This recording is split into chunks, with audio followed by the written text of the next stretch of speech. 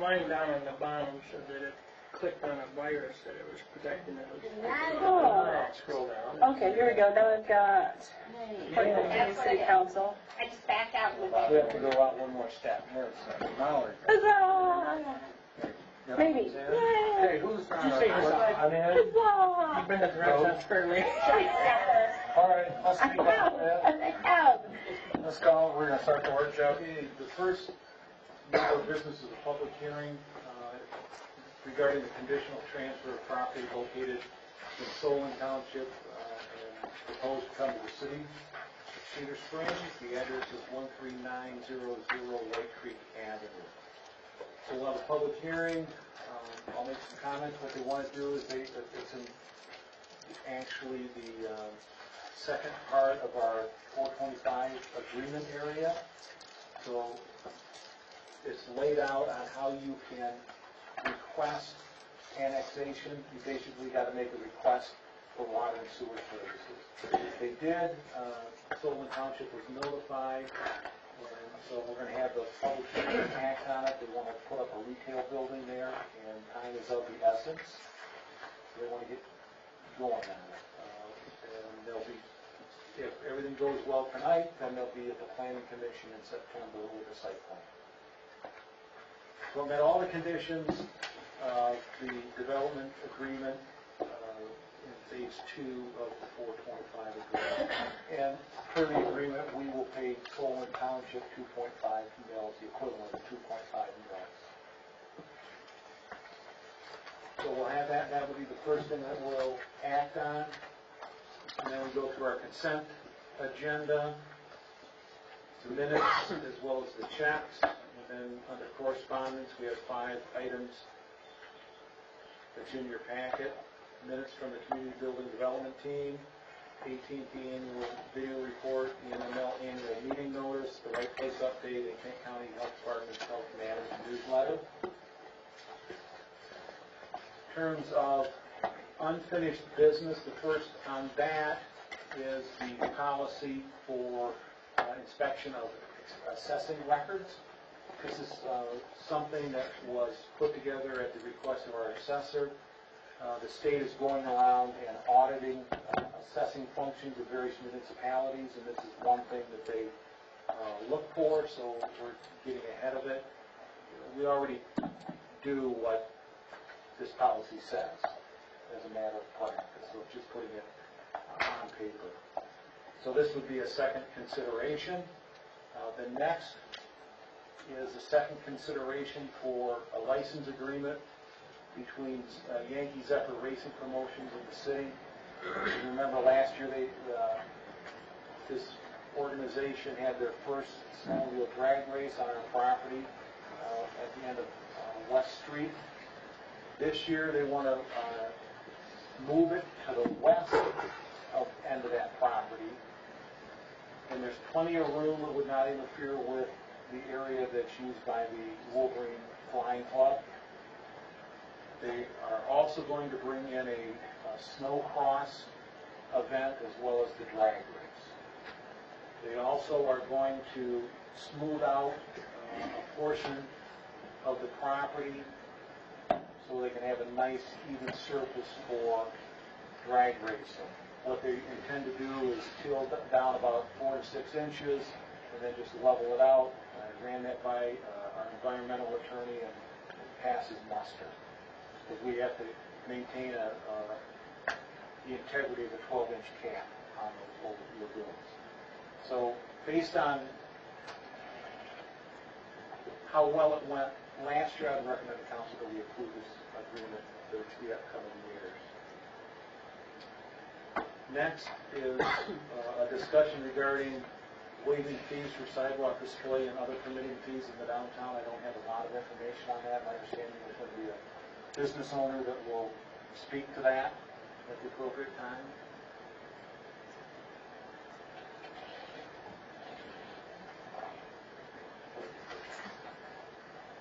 Under new business would be taking action on the conditional transfer of property within Solon Township to the city of Cedar Springs at first consideration. Again, that's we'll be discussing that at length during our public hearing. And the developers will be here tonight if there are questions. So I'd recommend, obviously, that we accept uh, that property and waive policy 12 so we can get this moving forward. Next is a motion to waive policy 12 again to act on agreement between the Cedar Springs Fire Department and Host Testing Specialties. Uh, At the first consideration, fire department has gone and solicited bids for hose testing. They've been doing it uh, themselves. However, uh, it's becoming a little bit problematic. It takes a lot of the training meeting times.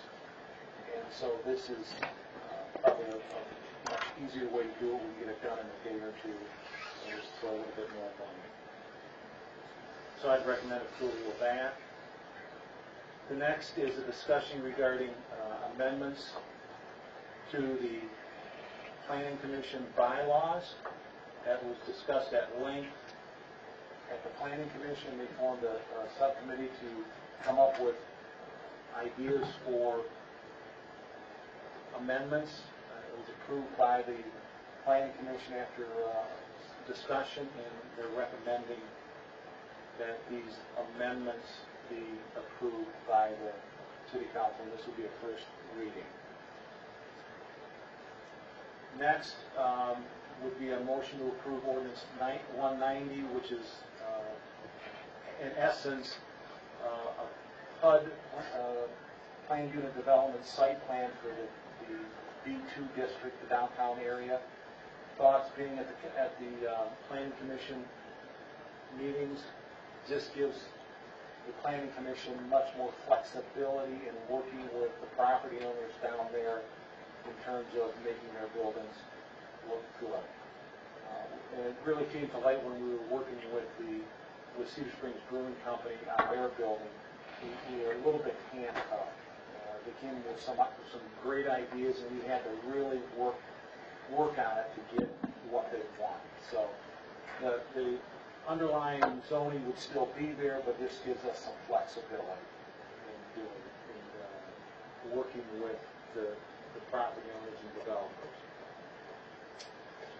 So that would be a first reading. Uh, The next would be another ordinance, uh, ordinance 191, and that's to amend section 10.1 of chapter 10, article 1 of the city code of the, of the city of Cedar Springs for first reading. Basically, there was, as our ordinance right now reads, it it conflicts with the building code. Basically says that certain things uh, are not uh, applicable in a mobile home park, and that's not the case by state law.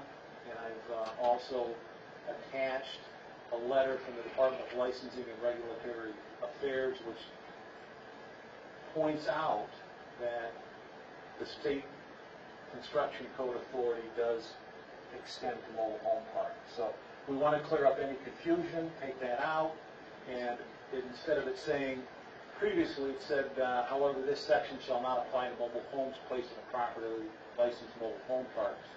It will now read, this section, um, this provided, however, that all ordinances, codes, or regulations otherwise applicable to mobile home parks or mobile homes within mobile home parks, including but not limited to the provisions of zoning ordinance, construction code, property maintenance code, and public health code, shall apply to mobile home parks and mobile homes within mobile home parks to the fullest extent permitted by law. So it just um, bringing some clarity to that and getting us line with state law. So I would recommend that we uh, approve that when it comes for second reading at the next meeting. But this is just the first reading and and no action is necessary.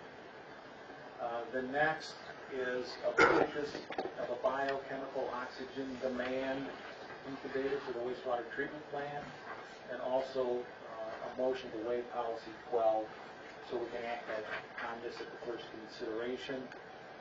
There were bids received, and uh, DPW director is recommending uh, a company to provide this service in the, in the, in the price of, of three thousand seven hundred eighty dollars. So I would recommend two things. Number one, that we waive policy number twelve, and also to, uh, recommend the approval of the, uh, company as identified by the DPW director.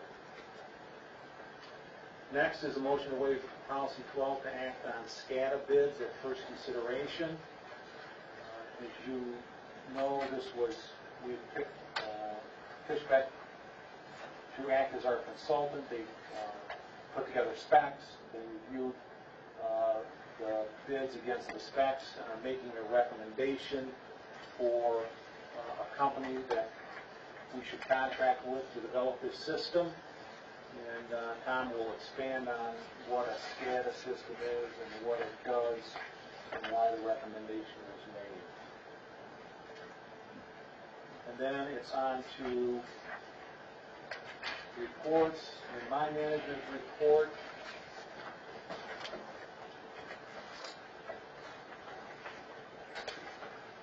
City had submitted a, or actually had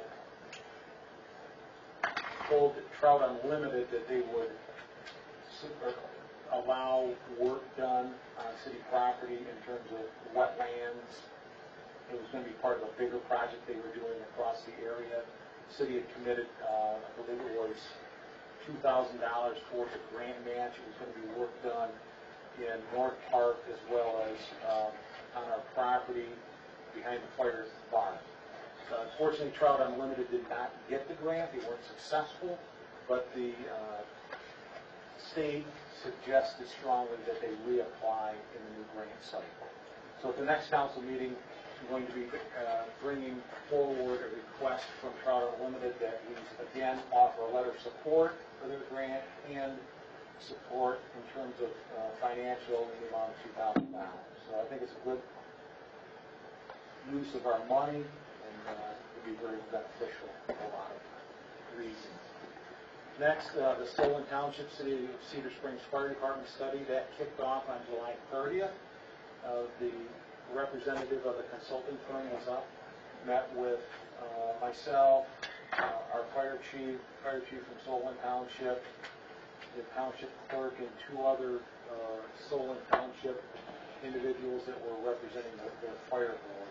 So I just kicked it off, talked about um, the objectives, the approach to the study, possible outcomes, proposed timelines, and just answer any questions that the group might have. Uh, It was very candid discussion. I thought it was a very good start to the process. The next step is that the consultant will be here on August 15th to interview select members of the fire department. I believe he's starting with uh, the officers in the fire department.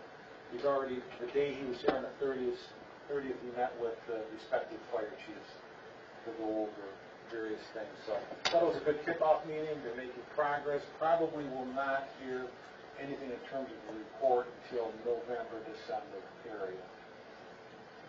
Cedar Springs Mobile Estate, um, their license to operate their mobile home park expires September 30th, and they're up for a three-year renewal.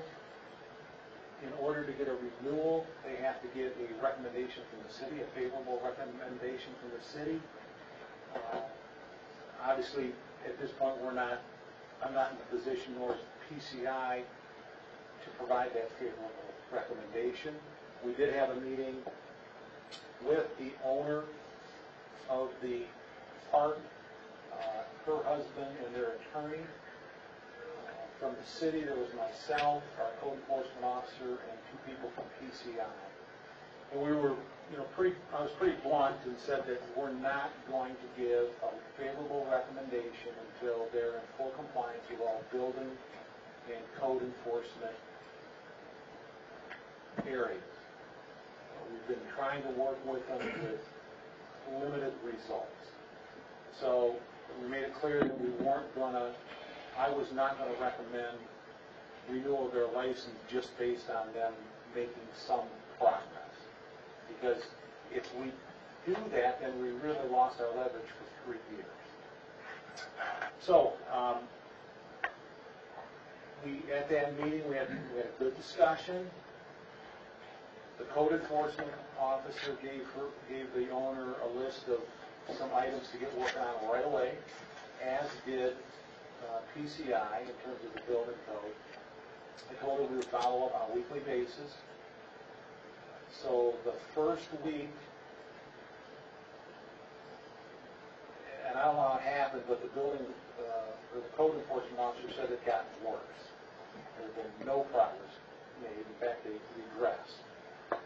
Uh, PCI sent out requests to inspect 20 of their rental units, and uh, they sent those letters out last Wednesday, and as of yesterday, they had not heard anything back from the. Well, Probably one of the more concerning things is that uh, they've had three uh, sanitary sewer overflows in the last couple of months. So I've asked Tom to communicate with, with uh, DEQ as well as the county health department, because they're also, they're also requiring us to give them a favorable recommendation on the water and sewer. I've got to talk some more to the state, but our responsibility ends at, at, at the meter. We provide the water, and then it's their system, and same thing with the, with the sewer. It's- everything's inside the park system, so I gotta flesh that out. I did have a discussion this week with uh, a lady from the, the state, and, um, basically what happens if they don't get a, a recommendation for renewal of the license, they can't operate.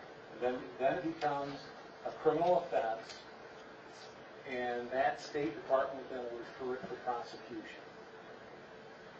Now, the, the lady I talked to said there are, have been situations where, depending on, on the circumstances, they might give thirty to sixty days if somebody's closed. So, um, I don't, I don't think that's gonna be the case. Um, I've So talked will about, all those residents be required to move? they can't, they can't live there if it's not, if they don't have a license. And that's the worst case scenario is that you're gonna displace, potentially displace a lot of people. And I've already put out some feelers and there's just not a lot of options. To be clear, we're not displacing them. No, no? Helping Well, us. we're saying we have to comply with the law, and Yes. you can't No. operate a facility that has substandard, unsafe housing. No, We're not, we're not displacing them. Right, But they would be displaced if they didn't get their license. right.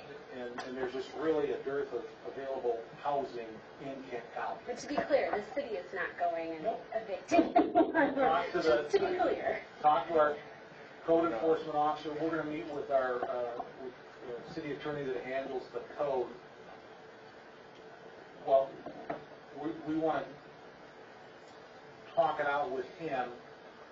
Uh, What we're probably going to do is let this licensing thing work its way and not do any citations for any of our, co- our- our code or our city ordinances, because we don't want to have actions in two different arenas.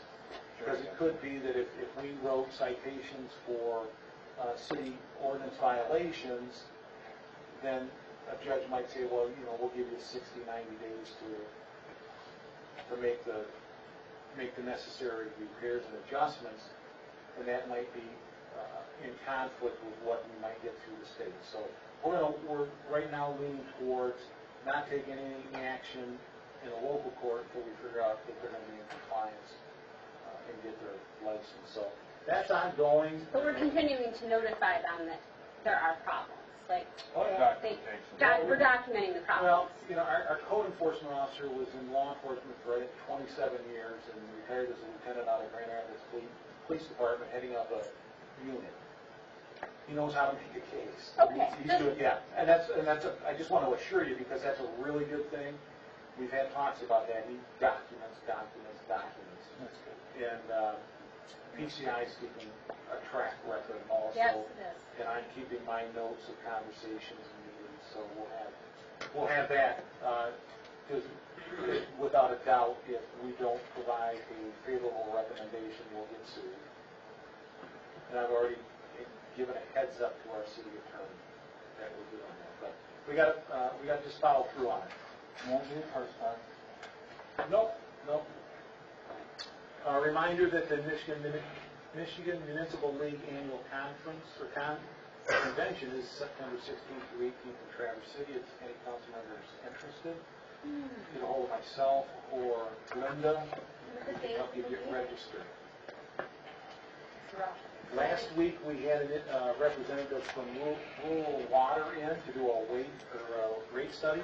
He was here two days, thought he was gonna have to be here four, and the reason he wasn't here four days was because we were really, really prepared for him. So hats off to to Deb Burnett and and, uh, Deb Frederickson for having all of that, or Fredericks, for having all of that information around and ready. Um, As we suspected, that he's going to be recommending some rate increases. Uh, We don't necessarily agree with the amount he would be recommending, but he's going to send us his final reports and his Excel spreadsheets, and then Deb and I will go through those. But, uh, yeah, it's inevitable we're going to have to raise our rates to support our system. So it's just at issue right now is uh, how much. And the, the rural water representative will be here probably sometime over the winter to address council and go over the study in depth. Uh, Finally, I'm working with Hanson Realty, which uh, owns the property that Display Pack uses. Working on them, they're wanting to exercise uh, the option on parcel C that was in that development agreement. And that, that was a four acre parcel. They are asking that we increase that to, from four acres to six point four acres. So we've been working with getting the agreement uh, in place, and so that should be coming up maybe in September, if not in October. So that, I think that's a, a very positive sign, because that, that property would be directly south, of, south of the access road that goes into the wastewater treatment plant, and it would go from the, our east boundary up to our easement line for that roadway uh, extension of, of uh, West Street. So I think that when that happens, that's going to make our grant request with the uh, EDA much stronger, because now we can say we have property sold in there that we have to service. So that, that, I think is a very positive thing. Plus, it just shows that Hanson Realty Display Pack wants to be part of the community, they're looking at staying here, they've got that for future expansion, so, uh, I, that's a very good sign. And after that, it's, um, the various department reports that they'll report out, uh, at the conclusion of the meeting. So that's the end of it. Any any questions? I think we skipped nine C. Intentionally? Oh, Which one was that? This trucks, Oh, okay, maybe we did. they were too big anyway to build, so. Yeah. Too Anyhow. big anyway. If we're- Bottom line, we're, we're going to need repairs to our trucks, three of our engines. Good news is, one of them is a county engine, which the county will pay for. And uh, the chief has gotten quotes, and he'll discuss his recommendation during the meeting. And certainly I would support his recommendation. We can't have these nagging repairs out there, we've got to get them taken care of. Is this that super awesome steam truck that we? The super awesome steam truck? Yeah. Steam powered fire. I didn't get a quote on that. No, No, Is that what you said, Aldi? When we, no, when we had our workshop, that was our, our sample. It was this, I think, hundred thousand dollar Steam powered steam fire powered fire engine. So that money is available for those repairs. I, I have a question. Um, I see that you know, and I know that there had been ongoing discussion about the fact that we need a new SCADA system for our water. Right. Um, I'm just not sure why it, why we would waive policy 12 on that. I feel like we've known about this, this has been coming. I don't understand why there's a rush and there's no time to allow public to come in and, It's one of those things that the sooner we can get it done, the better. We've been kind of babysitting the system for a long time. It's. and I'm, yeah, and I'm not even, I'm not even debating that we need one. Because I feel like that's a, that discussion is over. Sure. But I just, If it's I a may, bit, oh, of course. The, uh, the SCADA, the, the actual water tower that we did during the storm, Oh, actually fried some of the components for the SCADA system. We're, we're kind of. well, there it is, so now, Okay. okay, well, that, that makes a lot more sense then. It's simply, Yeah, it either became that- emergent. Either that or we purchased a five hundred dollar battery backup that was fried in the, Okay. in the. Well, then that, that makes sense. I just, I knew that it had been on a burner and I didn't understand why we were doing it now, but that makes a lot of sense. Thank you. I think you skipped the, uh, Dave Ringler. Appointment for the DDA. That was under the mayor's business. We're also looking for someone to serve on the Parks and Rec. I've talked to a few people, Uh, board, the board for the Parks and Rec board. So, anybody know anybody? if you have someone, let me know. Twist their arms. I'm just gonna do they need to be a city resident or, uh, like area, city? City, city resident. Okay. So, Bob's a city resident, he's retired, and he's got plenty of time. conflict. I think you want someone not on the council? He does, I think. I love it when you volunteer. Um, I, I have two things. Um, I'm going to request to amend the agenda to add two things, um, and obviously they only get added at the second.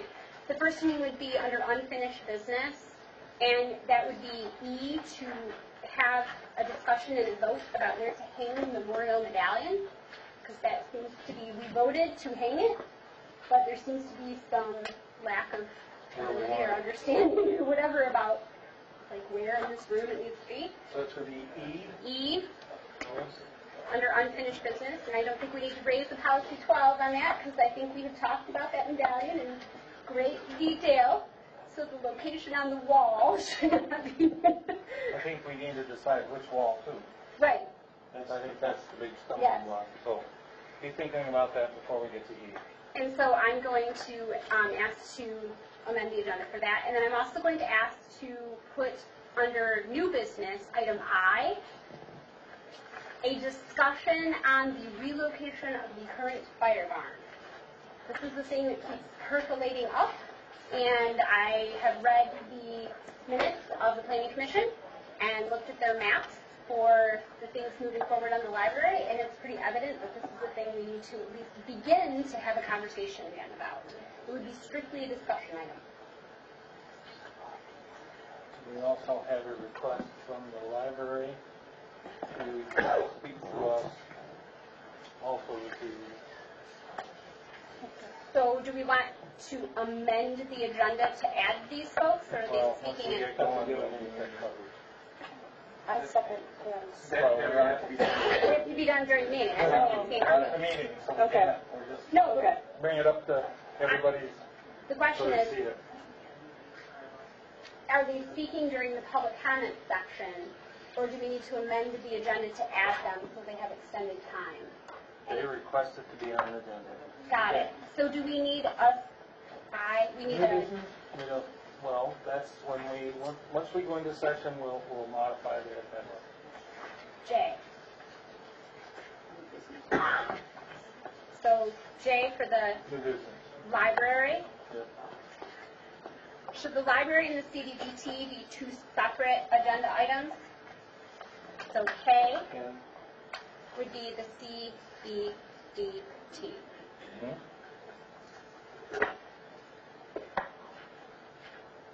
we added a third There, that's what they're, with discussion. we haven't actually done it yet. I will make the motion when we start the meeting. CBDT would be a fourth, right? Yeah, okay, well, when we get there, we'll, okay, we'll get it. That's fine. Okay. So the library is J.